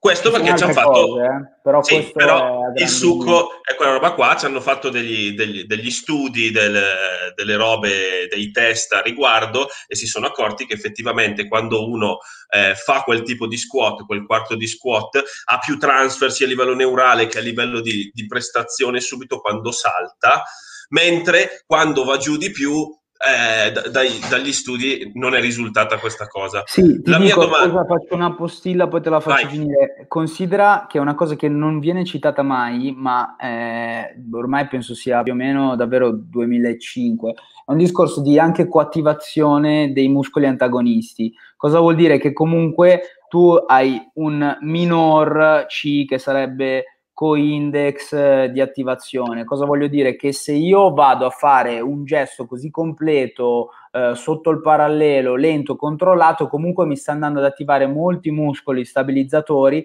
e la sua centralina sta comunque disperdendo energia su altra roba che paradossalmente in quel momento, siccome sto ricercando una roba massimale di attivazione, non ne ho bisogno e quindi è proprio quello il beneficio di eh, esercizi come la pesistica olimpica, perché ti richiede quel gesto a, a uno, ora mi viene in inglese, stretch shortening cycle, in italiano eh, come, come il lavoro di pliometria, eh, è quello il beneficio di quell'esercizio. Eh, quindi è quella cosa che cerco. Scusa che ti ho interrotto. Esatto. E la mia domanda è: siamo sicuri che quando sono, fatti, sono stati fatti questi, questi test, questi studi, quelli del gruppo in cui scendevano tanto di squat, eh, rompevano il parallelo e quant'altro, fossero davvero in grado di fare squat? Perché secondo me eh, l'articolo di Nicola Marini che è uscito settimana scorsa eh, a riguardo, eh, che pare fosse intitolato eh, perché non, gli studi, la pratica è diversa da ciò che, che, evidenziano gli studi sostanzialmente. Secondo me lì c'è da capire chi faceva squat per quel determinato gruppo di studio sapeva veramente fare squat perché in teoria quando uno sa fare squat non deve entrarmi sotto il parallelo chissà quanto rallentando o titubando e quant'altro. Uno che sa fare veramente squat oh, aria giù tac appoggia e va perché il movimento eh. è rodato. E questo secondo me è il punto che eh, fa, fa, da spartiacque.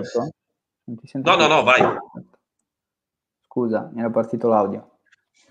Ehm, no, eh, allora partiamo dal fatto che eh, secondo me il punto di vista di qua, come sia fatto da Dio uno squat per chi ha una visione powerlifting piuttosto che una persona normale è differente. Eh, ti faccio io un'altra domanda. Eh, il, ti rispondo, non si fa, però provo a farti una domanda per, per aprire la risposta. Eh, no? di, il video che citava Ado, eh, che ho messo io, sul quale abbiamo un po' discusso, è un mio giocatore che faceva quel, quel quarto di squat, mh, mm, sei colpi, con circa 160 kg. Eh, e per essere 2,5 m, per essere un giocatore di pallacanestro, 160 kg, permettetemi, non sono briciole. Eh, per voi magari non è altissimo, però è, è già un bel carico. Eh, io ti assicuro che se gli chiedessi di farmi 120-130, me li fa.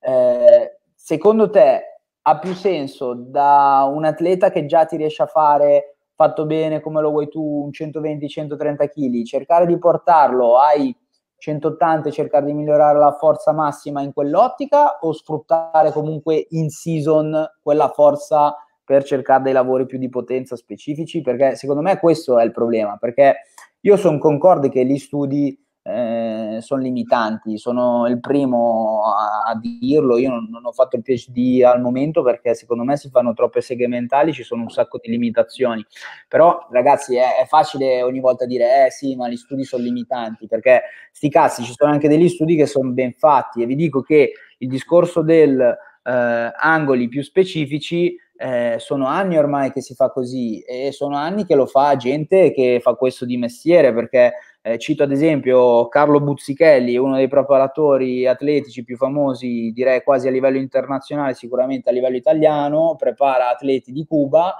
eh, della, dell'atletica leggera, eh, vincono medaglie e questi atleti qua nel periodo diciamo vicino alla gara specifico fanno comunque dei quarti di squat con carichi pesantissimi che voi che venite dal PL se li vedete quello del mio atleta è oro rispetto a quello perché sembrano, passate il termine, dei dildo squat del cazzo dove molleggiano 250 kg. Eh, però, cazzo, eh, questo vince medaglie. E questi qua vi assicuro che se li mettete a fare uno squat fatto bene, poi lo squat in tre settimane ve lo fa come volete voi. Eh, quindi lì secondo me è un discorso un po' più ampio, eh, perché io sono d'accordo con quello che dici tu e probabilmente in quegli studi hai ragione tu, cioè probabilmente è gente che se ci lavori bene sullo squat ti migliora.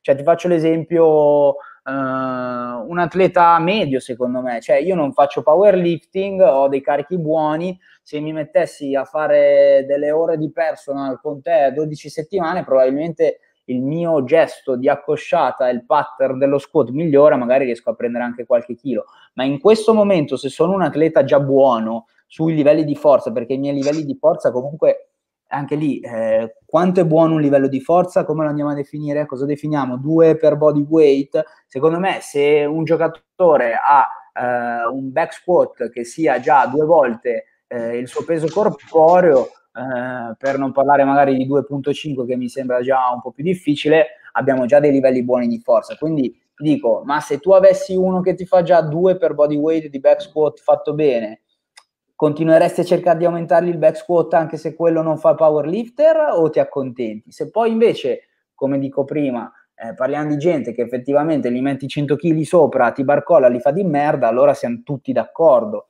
Però è lì la differenza. Eh, secondo me, vai, vai Ale. È che essen- cioè, giustamente tu dici, cioè, se io sono una, ho già un atleta che ha un certo tipo di attivazione, un certo tipo di forza, cioè ritornando alla domanda che hai fatto prima, forse in questo caso che hai detto tu specifico in season è poco produttivo andare a buttare tutto nel cestino e cercare di ricostruire da capo qualcosa. Io la penso così perlomeno ti, posso, di cui discutevo con Ado. Ti, ti, posso dar ragione in quel senso lì. Però nel, in, un, in, una fase successiva, quindi facciamo un piccolo fast forward, no? Andiamo qualche mese più in là, magari in off season così. Considerando che comunque quel quarto di squat lì ha sicuramente meno attivazione, cioè richiede sicuramente meno controllo motorio e sicuramente meno utilizzo dei fasci muscolari. Cioè, se lui lo stesso chilo lo riuscisse a fare con, su angoli più complessi, con la stessa dinamica e con delle tenute, quelle che noi chiamiamo tenuta di pancia, queste cose qua, comunque che canonicizzano lo squat in un, in un, in un quadrato bello definito, cioè di un movimento ripetibile che poi di per sé, per quant- se diventa buono ed ha un pattern corretto, diventa ripetibile nel tempo ed è sempre quello, quanto più avrebbe? È questo più che altro la domanda. Cioè, No, ma io allora su quello sono d'accordo, ma in season. No, non, è, non, è, non, è, non, è, il tuo caso specifico, qui è proprio. No, no ma non, io e, non e, sono... e, rientrando anche, e rientrando anche nel, nel, discorso un pochino più in topic della live, no? Cioè, sì. se io faccio uh, un quarto di squat a 200 kg, qualche doppia, ok? Mm. Quanto mi cambia a parità di body weight la mia capacità neurale e le fibre muscolari che riesco ad attivare, se quei 200 kg li faccio sotto il parallelo una di, con una certa dinamica. Eh, eh, ragazzi, sti cazzi, ma allora facciamo che tutto il mondo diventano tutti powerlifter, cioè è impossibile no. farlo in una seduta. Io questo che secondo me no, no, non, in, non, non, non, in una seduta, cioè, eh, anche in due. Prendi Busquets che nominava prima, o non so di chi parlavamo, prendi Cristiano Ronaldo, ragazzi, Cristiano Ronaldo magari 150 kg ve li fa come volete voi eh, gli rompete il cazzo tutte le sedute, no, vieni qua, facciamo mezz'ora oggi di squat 6x6 al 75%, quando poi eh, tutte le altre robe non le abbiamo allenate. Eh, cioè, cazzo, abbiamo un'ora e mezza, questo qua fa 8.000 robe poi sul campo, eh, e noi gli abbiamo fatto solo lo squat. Io, io, io amo lo squat, eh, però, cazzo, tutte le altre robe non le abbiamo fatte, cioè, movimenti in torsione, eh, roba monopodalica, ci sono 10.000 robe,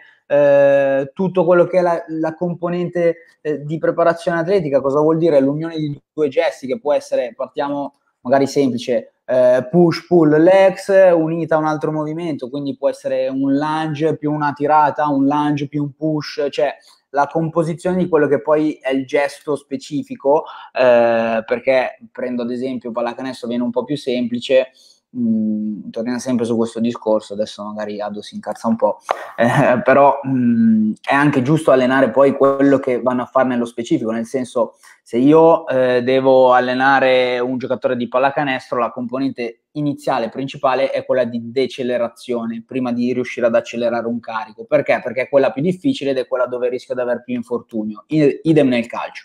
Eh, quindi, ok, gli faccio lo squat, eh, mi va via mezz'ora di una delle tre sedute e tutte le altre cose quando cacchio gliele faccio? Cioè, io la vedo così. Mm, Però il, cioè, il discorso è diverso, cioè un conto è io insegno a una persona in, in una seduta a far squat e quello è un discorso. Cioè, un conto è io porto quella persona per formare di più nel corso del tempo, perché come è già stato detto all'inizio, cioè, in questo caso qua non è da intendere che metto il ragazzo o la ragazza o chi per esso che gli faccio fare solo squat con una programmazione PL, perché tipo, ad esempio, tu hai detto giustamente, faccio fare un 6x6 e poi dopo non faccio più nulla. Hai ragione, è corretto.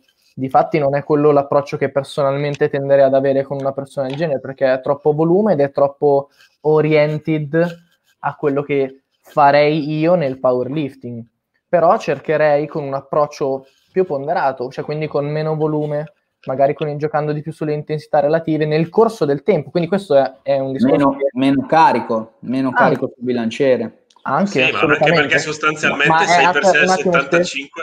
Scusate. Ragazzi, è, un discorso, è un discorso che cioè, va fatto su una questione di programmazione, almeno per come lo intendo io, che non, non si parla di uh, un macro ciclo di allenamento, cioè sì, pa- penso che se parliamo di preparazione atletica, no, io non, non, non, programmerei se dovessi programmare a tavolino sul giro di, di 12 settimane come faccio nel powerlifting. Ovviamente i tempi sono più dilatati, quindi immagino che anche l'obiettivo di programmazione sia più dilatato. Cioè mi, mi porterei che se ad esempio questo ragazzo qua lo, lo allenerò per due anni... Uno sprinter, un saltatore che è una competizione all'anno, sì se parliamo di un giocatore di calcio, no, un giocatore di pallacanestro, no. Se c'hai no, no, ma io intendo, io, sì, sì, no, ma io intendo su quella costruzione di quella componente A sì, specifica. Sì, ho capito. Mm, non, costruzione, non di una, costruzione di una componente A specifica nel corso del tempo. Eh, ma è difficile riuscire a programmarla anche meno di quelle 12 settimane. Cioè, tu gli programmi un lavoro di squat su 10 settimane facciamo finta, o quante? Sei? Fai Stefano tu con i ragazzi che nominavi prima, 12. così parliamo di cose pratiche. 12 Io settimane. con loro, esatto, 12. Classico. Ed è quella famosa, pa- cioè l'off season classico. Eh, ok, eh, okay. no season okay. non ho nulla da ridire. In season, come cacchio facciamo se abbiamo okay. due partite, questo In... c'ha un problema o che cazzo ne so? In off season ho costruito un movimento solido, sì, ho costruito una condizione in tre mesi, cazzo, la costruisci la condizione. Quando poi ho iniziato il lavoro con la squadra, tutto il lavoro eh, di conditioning sul campo è stato fatto. Eh, cosa io mi aspetto di fare durante l'in-season? Di, mi aspetto di sfruttare quello che ho fatto in off season, quindi la condizione che ho costruito e il controllo motorio che ho costruito, l'abitudine all'atleta di eh, fare squat come si deve, fare stacco eh, attivando i muscoli che deve attivare, di sfruttarlo per controllare il suo stato di forma, perché 6x6 a 75 in season è una cosa che non, non, ha, non ha, senso. Eh, delle doppie magari all'80 eh, o un, delle triple anche a 65 dopo una partita, eh, siamo sicuri che fanno solo male e invece eh, per uno che ha il controllo del movimento non lo aiutino addirittura a recuperare. Uno, no, che, prende una ginocchiata, eh, uno che prende una ginocchiata nel quadricipite, se fa delle triple al 65% di squat, chissà che magari la sente pure meno il giorno dopo. Eh, è questo, però devo, devo buttare la base prima, nell'off season, negli anni, più ne costruisco, più questa cosa diventa efficace. Il, sì, vero, sì. il vero problema è riuscire a costruirla. Esatto. E su questo credo che siamo d'accordo tutti e tre. Sì, ok. Sì, sì. Ma ok, scusa che così almeno su questo siamo d'accordo e n- nessuno discute. Se non hai la possibilità di lavorarci off season, perché ragazzi il discorso che fa Ado eh, è quello, perché voi ce l'avete, cioè voi prendete ad esempio i preparatori di Serie A e dite cazzo ma in Serie A non fanno così. Ok, ma in Serie A parliamo di gente che... Eh, fino a due settimane prima il mercato è aperto. Il mercato ce l'hai aperto pure durante la stagione, cioè vuol dire che, eh, non lo so, vi faccio l'esempio Olimpia Milano, ho lavorato all'Olimpia Milano.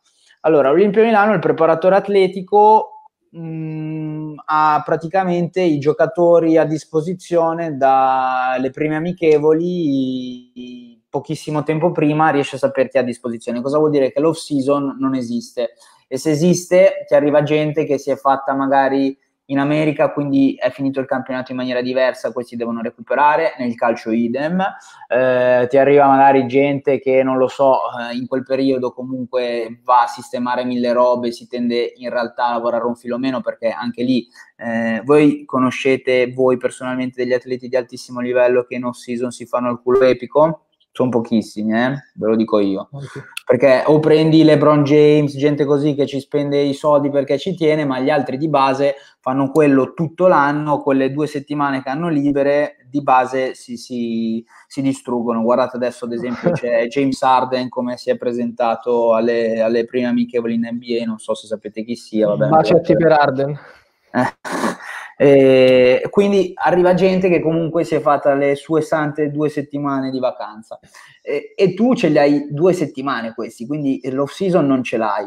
Eh, ti ritrovi, come ti dicevo prima, con 15 giocatori a, dopo due settimane che già devi portarli a una condizione buona in campionato, in uh, Eurolega e in Coppa Italia che ce l'hai all'inizio. Quindi vuol dire che comunque hai almeno due partite a settimana e c'hai 15 giocatori da gestire nella sala pesi. Ora, o ti arrivano tutti che sono già americani, sanno già fare quel lavoro e di base così, perché più vai alto livello, come dicevamo prima, più trovi gente che sa fare quella roba, oppure comunque diventa difficile perché, cazzo, se non ho avuto l'off season per lavorarci, che è come eh, di base succede quasi a tutti, comunque l'off season è difficile avere un'off season lunga, eh, a meno che sei lì da un anno eh, e quindi ti ritrovi il giocatore che è rimasto lì fermo, nel senso che non ha cambiato squadra, però di base ad alto livello il mercato è sempre aperto ed è ampio.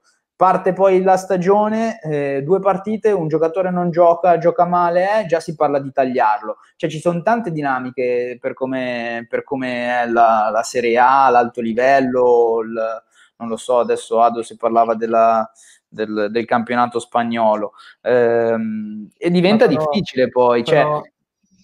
Dico, sono, sono comunque dinamiche strette in questo senso, sicuramente.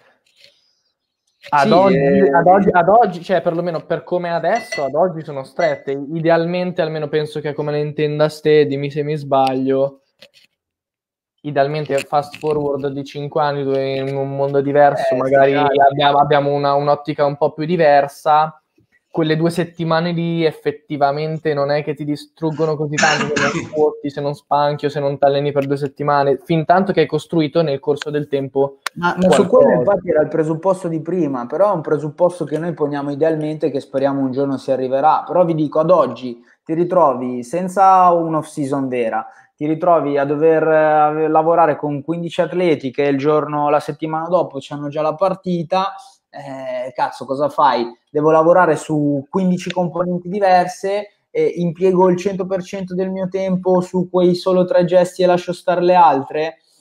Non lo so, vi parlo di pallacanestro, parlo, non lo so, Olimpia Milano, senza dire quello che faccio io. Eh, cosa fai? Fai quelle due sedute che hai di pesi perché ce n'hai solo due se ti va bene, perché come dicevo prima, considerato una settimana tipo, se questi fanno una partita il mercoledì o il giovedì, una partita la domenica, un giorno libero nella settimana per recuperare glielo devi dare, quindi fai domenica partita, lunedì libero, martedì doppio gli metti un pesi al mattino, eh, mercoledì fare un allenamento lungo, giovedì di nuovo la partita, eh, venerdì devi far scarico, eh, sabato domenica devi far video, sabato per preparare la partita di domenica, quando cazzo mm-hmm. li fai fare pesi, cioè diventa difficile, una due pesi.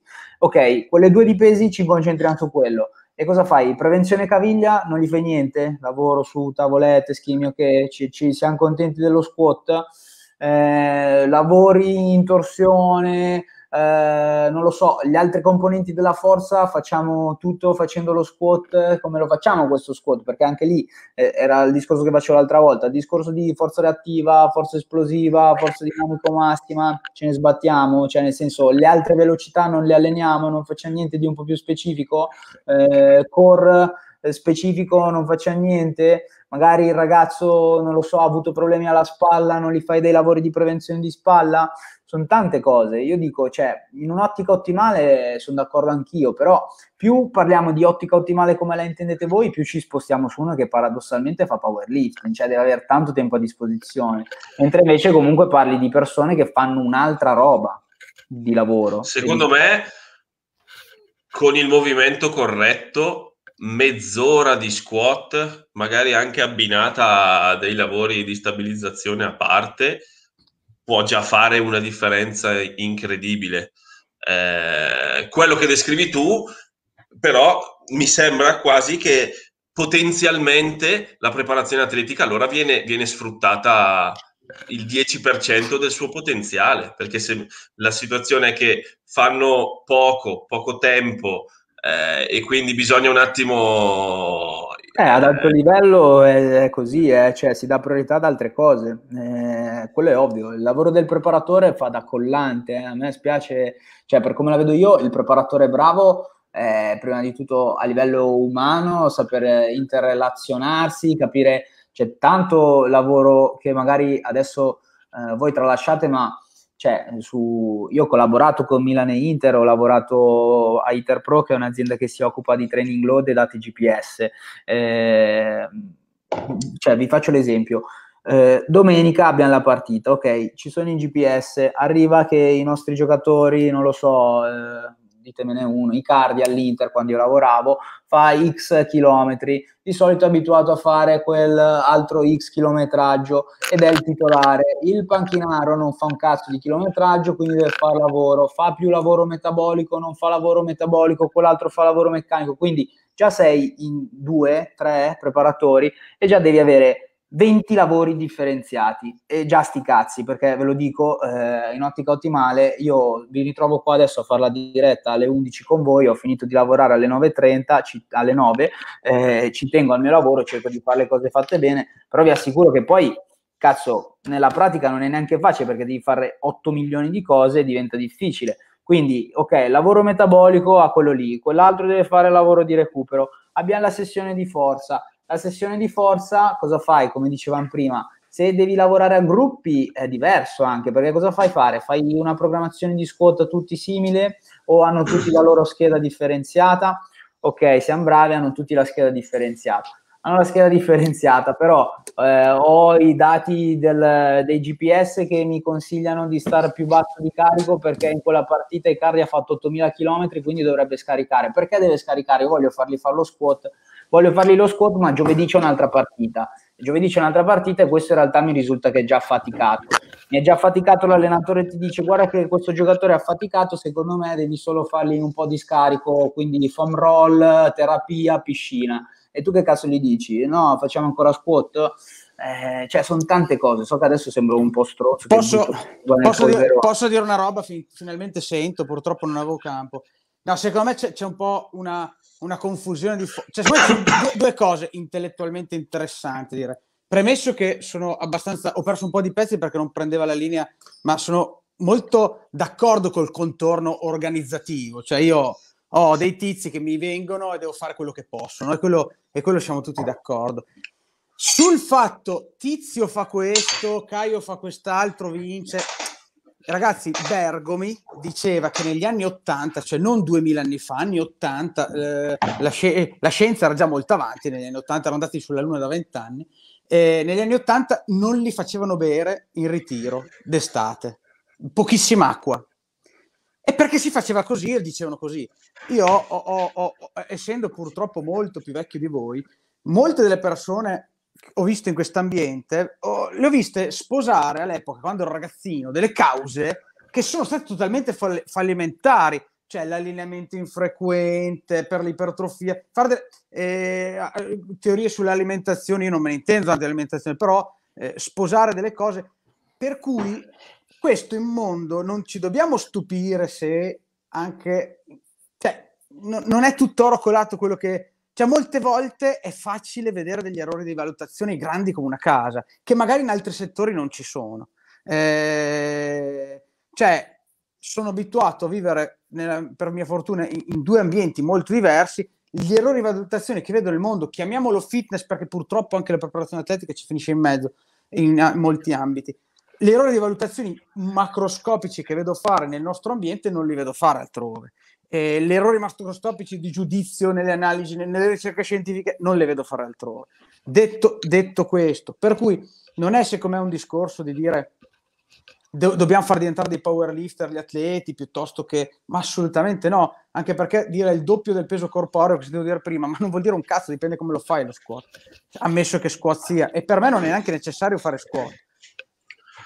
Dico che, dico che andrebbe vista la prova del 9, cioè nel senso ho, ho, ho la certezza che nel mondo non, si, non, ci sia mai stata un'interpretazione dei pesi di un certo tipo, se non nella pesistica olimpica che ti impone un certo controllo tecnico. Per cui vorrei rivedere tutto alla luce di gente che riesce a riconoscere un'alzata.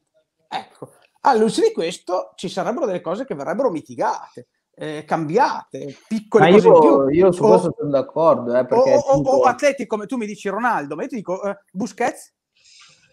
No, Ado, io, io sono d'accordo, altrimenti non avrei fatto il percorso di studi che ho fatto, nel senso, lo sai, io sono venuto da no, voi, no, io, no, no, cose, io lavoro in non quell'ottica. Sto, non sto discutendo con te, eh, assolutamente, dico in generale, cioè il fatto che Tizio abbia fatto e Caio abbia fatto, eh, vabbè, cioè sai quando ho iniziato a far pesi cosa dicevano delle robe che adesso voi vi mettereste a ridere E lo dicevano i santoni dell'epoca, e lo dicevano i guru, lo dicevano i maestri, i professori ah, universitari. Infatti cioè... dico, io, io, su questo sono d'accordissimo e ora eh, risulterò magari presuntuoso, esoso, però io ti assicuro, io sono convinto che se ho avuto dei risultati buoni con, alcune, con alcuni giocatori è proprio averli stravolto questa cosa, il fatto di dire, cacchio, era abituato a fare cagate sulle Bosu, adesso sa muoversi correttamente e mi fa comunque... No, questo, infa- infatti Francesco sei qua, non è che, ti ripeto, non è una, una partita eh, nei tuoi confronti. Peccato che poi Però... quelle, que- quella cosa che ti ho detto non lo porto avanti perché sono impegnatissimo in questo no, periodo.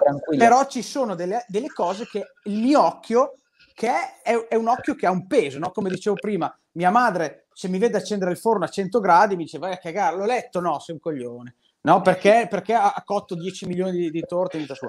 Eh, il mio occhio mi dice che ci sono delle cose che effettivamente hanno poco effetto che si potrebbe fare dell'altro. Cioè, veramente vai a fare una camminata in salita che, fa, che, che, che faccio di più. Al di là no, delle... eh, su quelle ragione, sono... però il contesto, il contesto incide tanto. Perché ma purtroppo... Sì, ma certo, ma noi, noi parliamo di condizioni ideali, però qua capito, cioè, eh, lo, lo, capisco, nel senso che stiamo facendo una chiacchierata come se fossimo al bar a dire certo. eh, giocheresti 4-3-3 o 4-4-2? Io 4-3-3 col, col, pivote e i due interni davanti, poi se non riesco e devo fare il doppio pivote, farò il doppio pivote. Cioè, è, è, è un po' una chiacchierata di questo tipo, no? Parlo mm-hmm. veloce perché siamo sì, sì. moltissimo fuori tempo e, voglio, ah. e, volevo un po' sentire, scusate luci stroboscopiche ma l'albero di Natale, e volevo un, po', un pochino stringere i tempi. Secondo me è una, è una chiacchierata molto mo, mo, molto interessante, molto intrigante, anche perché ci sono punti di vista eterogenei. Sono convinto che ci sia un sacco di roba da fare nelle preparazioni atletiche. Quando dicevi prima fare torsione, eh certo, c'è, c'è tanta roba da fare. È che non va visto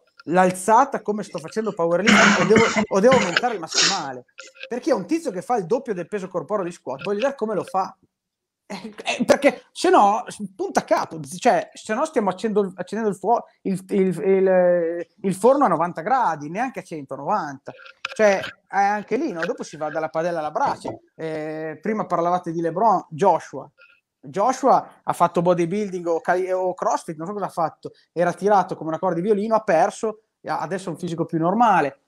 Cioè, perché dipende poi come si declina questa, tutto questo discorso qua. Tutte le cose della vita hanno un, un, un'idea e, e, una moderazione delle variazioni di questa idea, per cui è tutto estremamente complicato e estremamente più... tutto ha dei se, dei ma, dei però, qual, qualunque cosa, qualunque, qualunque cosa. È chiaro che oggi pensare, secondo me, contestualizzando qualunque cosa, parte... In, così per dare degli stimoli particolari, pensare ancora di vedere il mezzo squat, secondo me il quarto di squat, secondo me puoi dire scendo al parallelo sotto lì vicino, quello mi, mi, sta bene, anche se secondo me non scendendo sotto un certo livello si innescano dei meccanismi muscola- muscolari di frenata che fanno più danno che bene. E questo è un mio occhio che un preparatore atletico non, non può avere perché ho visto 2 milioni di squat che lui non ha visto.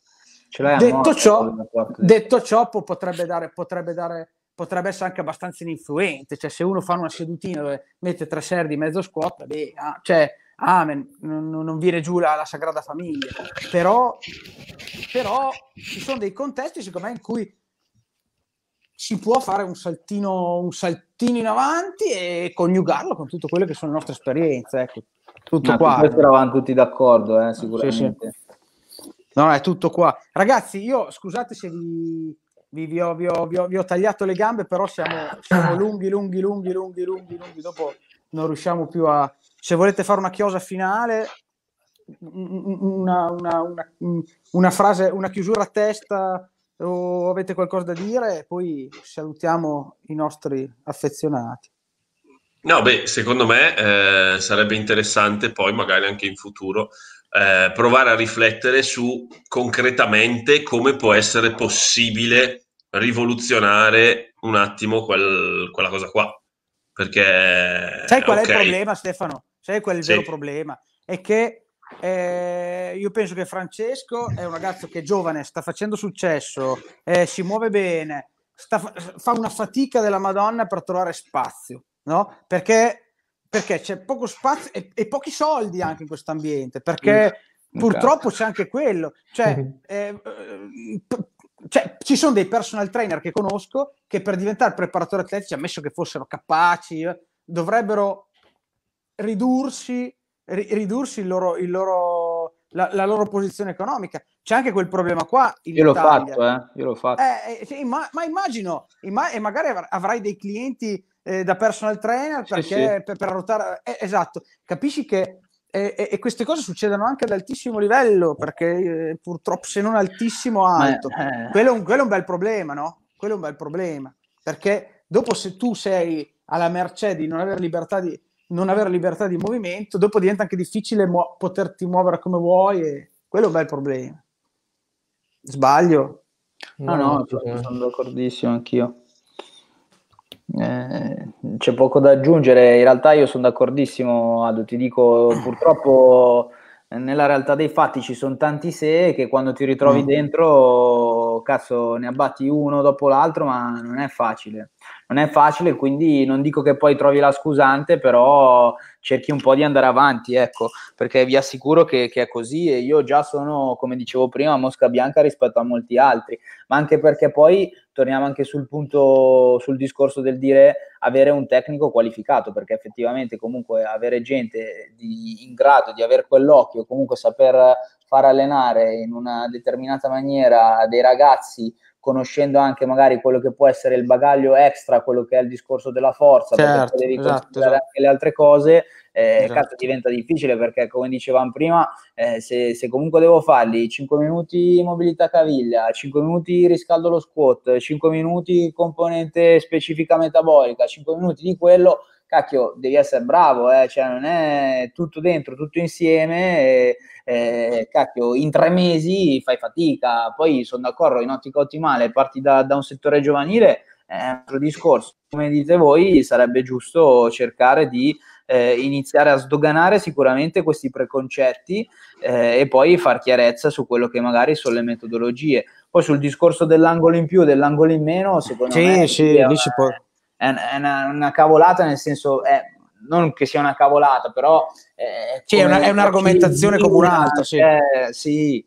Ehm, sì, sì. No, ma io più. guarda, di, dicevo prima, prima, che ci connettessimo che tante volte vedo i calciatori che se facessero, eh, un, dico una roba che è, è vergogna, so, ma un po' di crossfit fatto male.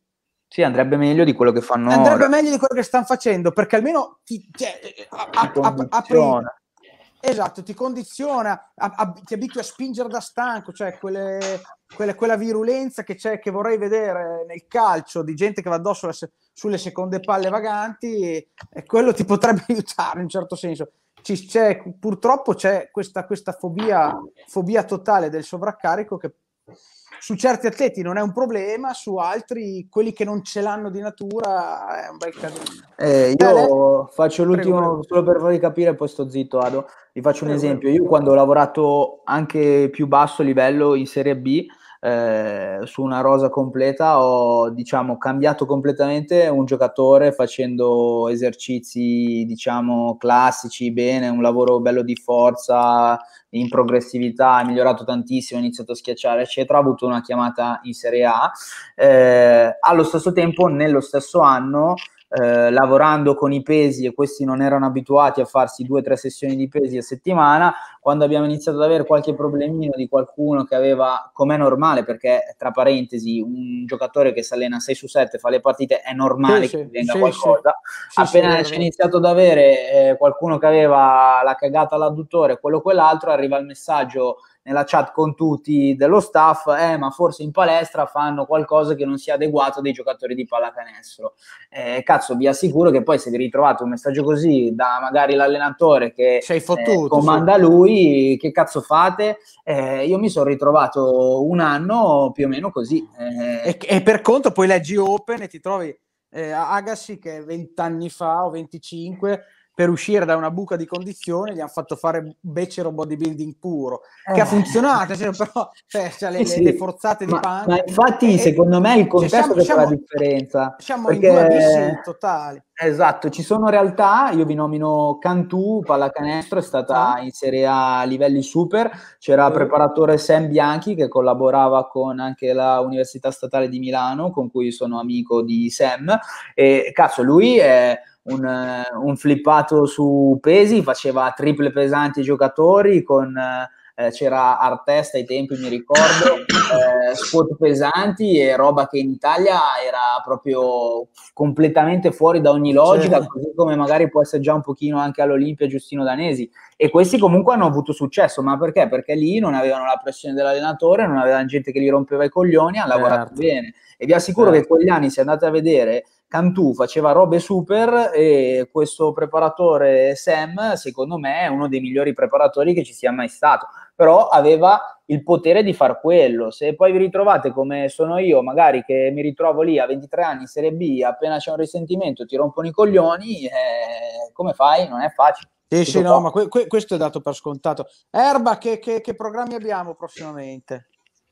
Prossimamente intendi nelle prossime dirette, suppongo. Sì, non sei preparato? Non sono preparato. No, in realtà dovremmo farne una, una bella golosa fra un paio di settimane, però non ha senso dirlo adesso. Ok, ascolta, no, vabbè, dai, comunque qualcosa, qualcosa ci sarà di interessante anche la settimana prossima. La... Mm, sì, ma, ma in, mentre ero fuori mi, mi, avete scritto in tanti per, eh, per, per l'infoprodotto se, se, ci sono altre domande, so, vi ho un po' risposto, però se ci sono anche in privato, la, scrivete sulla pagina Accademia la mail. E comunque, grazie dell'interesse, eh, che sta, fa sempre molto piacere. Mm, yes. Anche quello è, è, è, un prodottino. Premesso che noi non, vogliamo, non dobbiamo vendere un cazzo. Cioè, secondo me cioè, è una roba fatta bene, l'abbiamo fatta e ve la proponiamo. Non dobbiamo vendere un cazzo di niente però anche quello è un prodottino che ha una logica sequenziale che in questi contesti si sposa molto bene, cioè come mi approccio a un'alzata, cioè, a me non dispiace la, la roba che fa Dan John, eh, po- poche serie, pochi esercizi pesanti fondamentali anche nella preparazione dei lanci o del, del, del football americano, però quello che manca a Dan John è ok, faccio lo stacco, lo faccio programmato anche giusto, poca roba, stimolante, ok, ma come? Ecco, come mi ci approccio? Quella roba lì manca e secondo me è una mezza risposta anche questa. Ragazzi, salutiamo, cosa dite? Sì, penso che possiamo anche chiuderla. Io vi ringrazio molto della, della, della, della, presenza, tutti quanti. Ho visto che addirittura sono salite le visualizzazioni nel tempo in un momento in cui di solito calano, per cui vuol dire che la discussione era accesa, è sempre molto, è, è un nodo sempre molto scoperto questo nell'ambito dell'allenamento, per cui a qualcuno dà fastidio, ma sarà eh, ma così. Indubbia, indubbiamente il confronto è la roba migliore. Ma sì, perché non si deve vedere, come dicevi tu prima, Stefano, questi del powerlifting.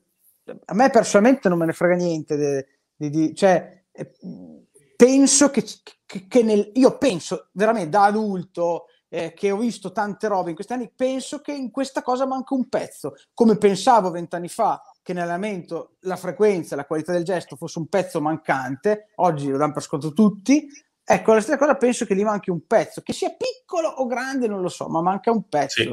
Eh, e io, com- e io prego, chiudo prego. la mia parte, cioè da quel discorso qua aggiungo che secondo me è molto più semplice di quello che si pensa.